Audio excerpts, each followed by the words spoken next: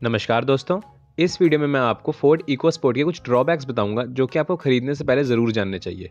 और अगर आपको पॉजिटिव पॉइंट्स वाली वीडियो देखनी है तो आप देख सकते हैं ऊपर एक लिंक फ्लैश हो रहा है, और नीचे डिस्क्रिप्शन में भी मैंने उस वीडियो का लिंक दिया है। इस गाड़ी में रियर ए इवेंट नहीं दिए गए हैं, जो कि आज के टाइम में ह्यूडा आई जैसी गाड़ी में भी दिए हैं। अगर इंस्ट्रूमेंट कंसोल की बात करी जाए तो वो कुछ ज़्यादा ही प्लेन और सिंपल सा कर दिया है। और अगर पुरानी इको स्पोर्ट और नई इको स्पोर्ट के इंस्ट्रूमेंट कंसोल को कंपेयर करें तो पुरानी वाली का ज़्यादा अच्छा था दिखने में। वैसे इस गाड़ी में लेगरूम की कोई कमी नहीं है, पर अगर कंपेयर करा जाए नेक्सॉन एंड ब्रेजा से तो उनके मुकाबले इसका लेगरूम कम है। और अगर वेट्स के मामले में कंपेयर करें तो इको स्पोर्ट लास्ट आती है इन तीनों में। गाड़ी के जो पिलर्स हैं, वो काफ़ी ज़्यादा बोल्ड हैं तो ये चीज़ विजिबिलिटी कम करती है और ड्राइव करने में थोड़ी सी प्रॉब्लम आ सकती है।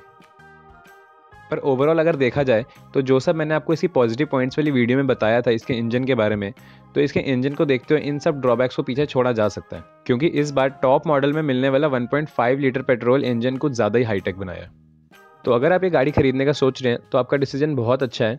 और अगर आपको इस गाड़ी के बारे में और जानना है तो नीचे डिस्क्रिप्शन में मैंने एक वीडियो का लिंक दे रखा है, जो कि इको स्पोर्ट के पॉजिटिव पॉइंट्स वाली वीडियो का लिंक है। और वीडियो अच्छी लगे तो प्लीज़ इसे लाइक करें, ज़्यादा ही अच्छी लगे तो शेयर और सब्सक्राइब भी करें। सब्सक्राइब करना बिल्कुल फ्री है तो दो बार सोचिएगा मत। वीडियो देखने के लिए धन्यवाद। जयराम जी की।